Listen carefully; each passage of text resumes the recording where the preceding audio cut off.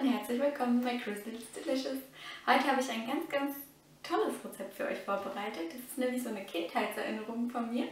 Das sind so gefüllte Teigtaschen mit einer super leckeren Kartoffelfüllung und dazu eine hammermäßige Soße, die man auch nicht nur zu diesem Gericht essen kann. Es ist ein bisschen anspruchsvoll, was die Zeit angeht, deswegen nutze ich heute das Regenwetter und bereite das nochmal ein bisschen auf Vorrat vor. Wie man das Ganze herstellt, das zeige ich euch gleich. Und wir starten auch schon direkt los mit den Zutaten. So ihr Lieben, bevor wir mit dem Teig anfangen und ich euch dazu die Zutaten zeige, die auch nur ein paar wenige sind, zeige ich euch erst einmal, was ich im Hintergrund schon mal anstelle. Das ist für die Füllung dieser kleinen Teigtaschen vier äh, ungefähr gleich große, so mittelgroße Kartoffeln. Ich zeige mal, die haben ungefähr so diese Größe. Wenn ihr größere habt, dann, also wirklich nur zwei große verwenden, ansonsten vier von diesen mittelgroßen. Die koche ich im Hintergrund und dann habe ich hier schon einmal äh, eine so mittelgroße Zwiebel. Wenn ihr eine große habt, reicht auch äh, eine halbe. Die dünste ich im Hintergrund in der Pfanne an. Für den Teig benötigen wir ein Ei der Größe M, ein Teelöffel Salz, 250 ml Wasser und hier habe ich in etwa 600 Gramm Mehl Typ 405. Die Zubereitung des Teiges, die funktioniert jetzt wirklich ganz, ganz einfach. Wir tun alle flüssigen Zutaten in die Schüssel. Also das Ei, das Wasser und das Salz. Das werde ich jetzt erst einmal so ganz leicht verrühren hier mit dem Milchschneefel. Und dann gebe ich jetzt erst einmal ein bisschen Mehl hinzu und dann nach und nach bis der Teig schön nicht mehr klebt. Man muss aber echt bei dem Teig aufpassen, dass man nicht zu viel reinmacht. Deswegen testen wir das Ganze mal. Ich habe jetzt 600 Gramm abgehoben und sage euch wie immer, ob ich dann noch was dazu mache oder nicht. Also erst einmal ein bisschen. Dann lassen wir das erst einmal mixen.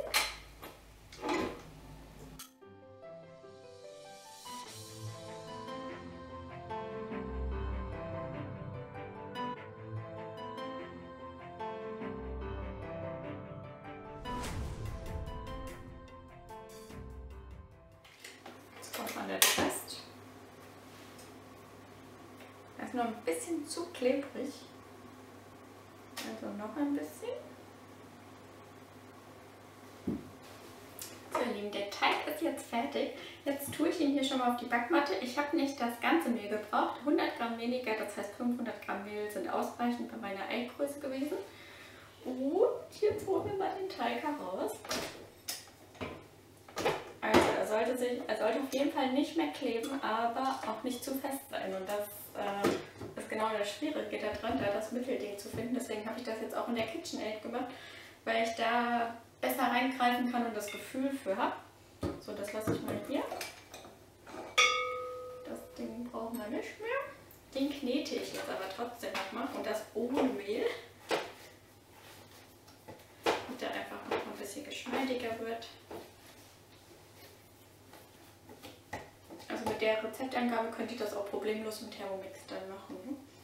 Ich wollte das jetzt nur mal so, wie gesagt, testen, weil das Rezept von meiner Mama, da steht nie die, die Mehlgramm da, da immer, geht es immer nur um die Flüssigkeit, wie viel Flüssigkeit sie in den Teig macht und Mehl, bis der Teig zu Ende ist, wie immer. Deswegen wollte ich das jetzt erstmal nochmal so testen. So, den Teigklumpen, den tue ich jetzt nochmal in die Schüssel. Und decke das Ganze hier ab. Den lassen wir jetzt nochmal bei Raumtemperatur ungefähr eine halbe Stunde ruhen und in der Zwischenzeit zeige ich euch jetzt so die Füllung, wie wir die zu Ende stellen. Denn die Kartoffeln sind hier hinten nämlich auch schon fertig. Also geht's gleich weiter. So ihr lieben Kartoffeln habe ich jetzt hier schon mal das Wasser abgießen lassen. Die sind jetzt auch noch warm. Die Zwiebeln habe ich angedünstet hier. Die tun wir hier einfach rein.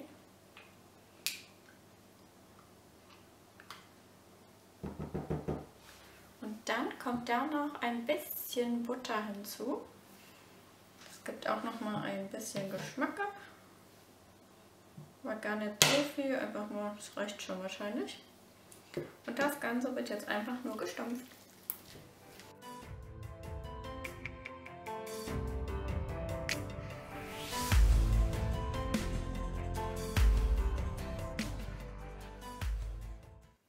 das war es auch schon mit der Füllung. Fertig ist sie. So ihr Lieben, eine halbe Stunde ist rum.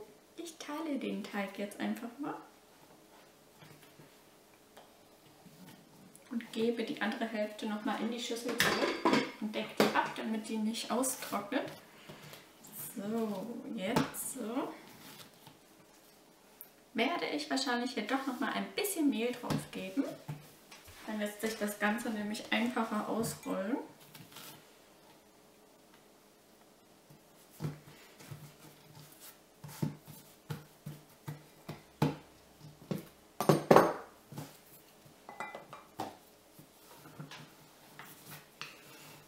Meine Mama hat das anders gemacht. Die hat es äh, zu einer Wurst geformt, zu so einer langen Rolle und hat dann einfach kleine Stückchen zugeschnitten und die einzeln ausgerollt. Aber ich mache das jetzt anders.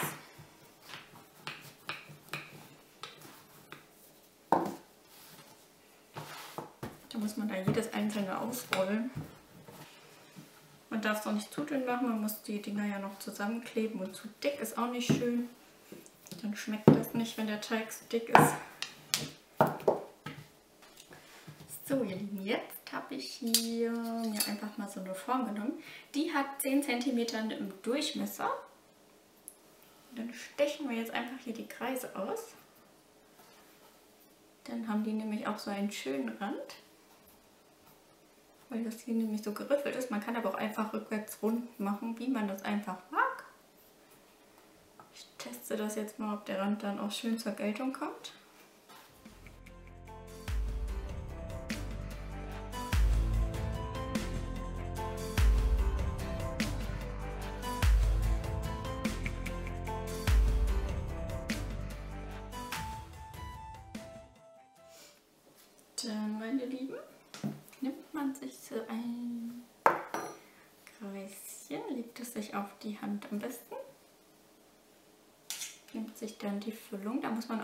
Dass man auch nur so viel drauf tut, dass man die Dinger auch noch schön einklappen kann, aber auch nicht zu wenig, sonst schmeckt, also fehlt ja einfach die Füllung. Also ich habe jetzt ungefähr so zwei Teelöffelchen drauf gegeben. Kann man auch schon mal mit der Hand so schön zusammenklupseln. Dann rollt man das am besten so ein und verschließt den Rand. So, der Teig hat die perfekte Konsistenz, der klebt richtig gut zusammen.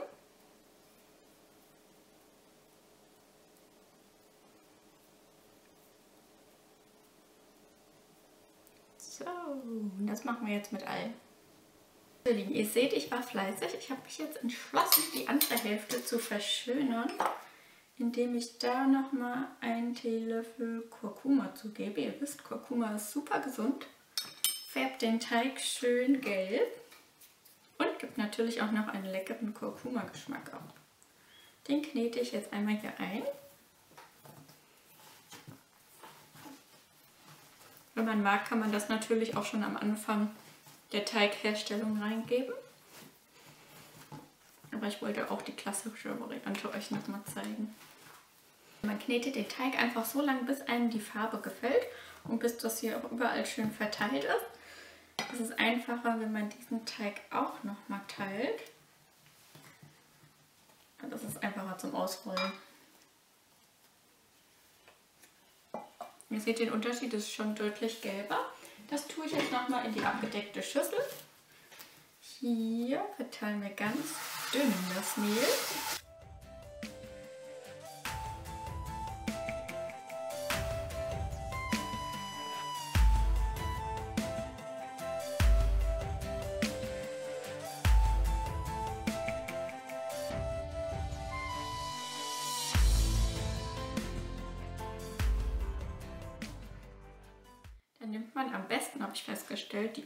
Seite für die Füllung, weil die klebt ein bisschen mehr. Legt sich das einfach hier so in Form.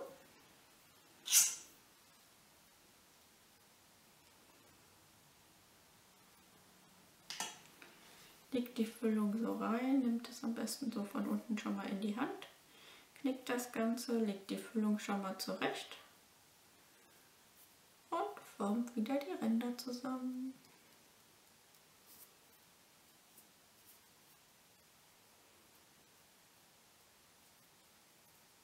Das Schöne bei der Kartoffelfüllung ist, man kann die immer wieder so in Form machen, dass die schön aussehen. Und den Vorgang wiederhole ich jetzt auch wieder mit allen. Ich wollte euch nicht vorenthalten, wie das meine Mama gemacht hat. Also da formt man so eine Wurst und dann schneidet man da einfach so gleiche Stückchen zu. Und dann rollt man die einfach so dünn rund aus.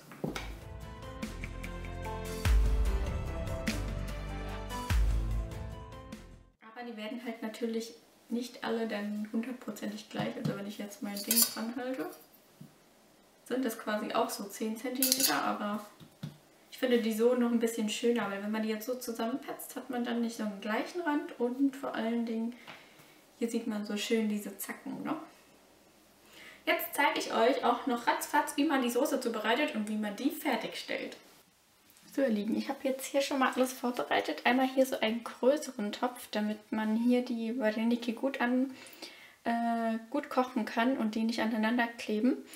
Und hier schon mal einen Topf, damit wir die Soße zubereiten. Als allererstes äh, mache ich hier schon mal die Herdplatte an für die Soße. Und da erwärmen wir jetzt Olivenöl. Da ist es ganz wichtig, dass es ein gutes Olivenöl ist. Hier kooperiere ich übrigens mit MyOlio. Ähm, da gibt es auch bei YouTube ein paar Videos, bei Instagram ist er sehr aktiv und dieses Öl schmeckt super lecker. Man kann sich sein eigenes Öl zusammenstellen, was ich auch total toll finde. Also nicht nur einfaches langweiliges Olivenöl, sondern auch zum Beispiel mit Orange verfeinert oder irgendwelchen anderen tollen äh, Aromen, die man mag. Die habe ich ja zum Beispiel auch schon bei meinen Kartoffelröschen verwendet und es hat wirklich super lecker geschmeckt. Wenn ihr Interesse habt, ich verlinke euch die Homepage unten und äh, mit meinem Rabattcode, den ihr dann bekommt. Und probiert es mal aus, das ist echt super lecker. Davon geben wir jetzt mal hier einen Schwupps rein. Huch, war sogar ein bisschen zu viel. Aber ist nicht schlimm. Ich finde bei Zwiebelchen ist das immer ganz gut.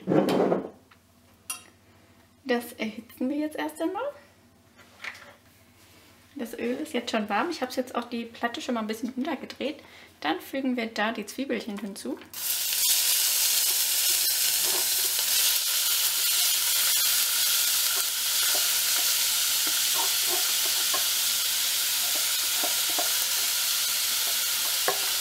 Das war jetzt im Übrigen eine Zwiebel und die klein halbiert.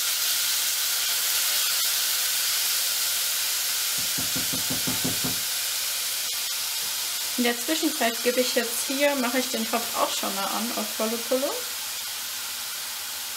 Auf 10, jetzt da nochmal Salz rein. Ich mache das immer mit meiner Hand, so eine Handvoll für so einen großen Topf, das reicht.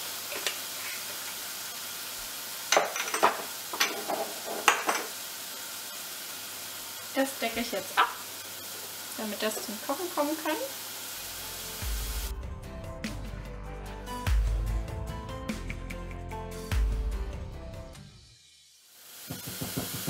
Zwiebelchen dünsten wir jetzt schön an. Jetzt verrate ich euch meinen Geheimtrick. Zwiebelchen röstet man am besten an und gibt dann ein bisschen Zucker hinzu. Dann karamellisiert das, äh, die Zwiebelchen nämlich und geben nochmal viel mehr Zwiebelaroma ab. Das macht man auch immer kurz vor Schluss, also kurz bevor die Zwiebelchen fertig sind. Und dann löscht man das entweder mit einer Flüssigkeit ab, mit einem Wein zum Beispiel oder Gemüsebrühe das brauchen wir ja bei diesem Süßchen nicht. Da kommt gleich der Schmand hinzu. Und danach würzen wir das Ganze mit Salz und Pfeffer. So ihr Lieben, jetzt fügen wir einen Becher Schmand hinzu. Der Zucker fängt nämlich schon schön an zu karamellisieren. Damit löschen wir das quasi ab. Wer eine Light-Variante mag, der kann dann einfach saure Sahne benutzen, aber ich finde mit Schmand schmeckt das schon super lecker. Und das ist ja auch so ein Gericht, was man nicht jeden Tag isst. Finde, da darf man sich das auch gönnen, wenn man eine Runde Sport getrieben hat. Das verteilen wir schön.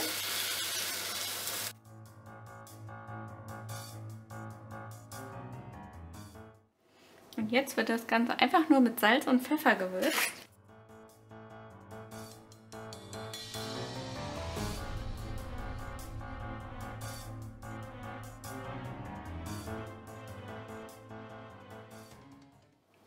Das Söschen ist schon mal fertig. Am besten nochmal abschmecken, um zu gucken, ob es einem auch so gut schmeckt. So ihr Lieben, das kocht das Wasser. Da nehmen wir jetzt den Deckel weg. Tue ich mal da hinten hin. Dann lege ich mir welche hier drauf. Übrigens, da wo ihr die Varenikis drauflegt, da sollte auch am besten Mehl drunter sein, denn sonst kleben die nämlich an oder einfach ein Handtuch. Ich mache das jetzt mal bunt gemixt. Die mit Kurkuma erkennt man auch sofort.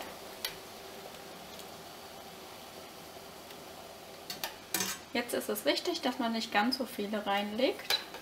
Deswegen auch hier extra dieser flache Topf. Denn sonst kleben die A am Boden an und B aneinander und das ist ja nicht schön. Noch ein und das war's. Wenn das Wasser nämlich auch schon kocht, dann kleben die auch nicht direkt unten am Boden fest. Dann machen wir jetzt hier den Deckel wieder drauf.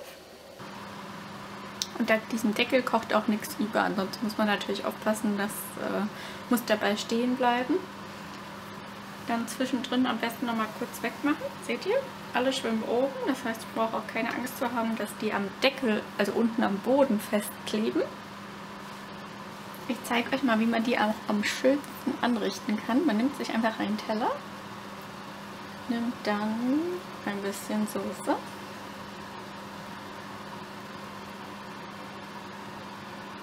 So, macht da so ein schönes Bett. Dann nehme ich jetzt mal hier so einen. Den abtropfen.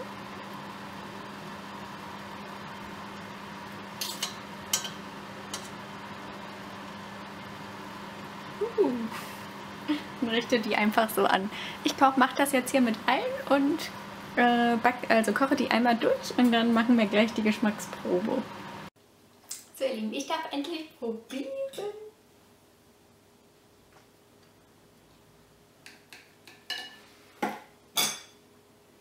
Und ich muss sagen, es sieht super lecker aus.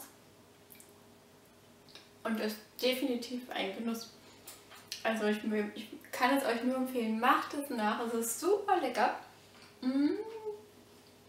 Ich werde die jetzt genießen und habe übrigens die Hälfte ungefähr eingefroren und die andere Hälfte gekocht.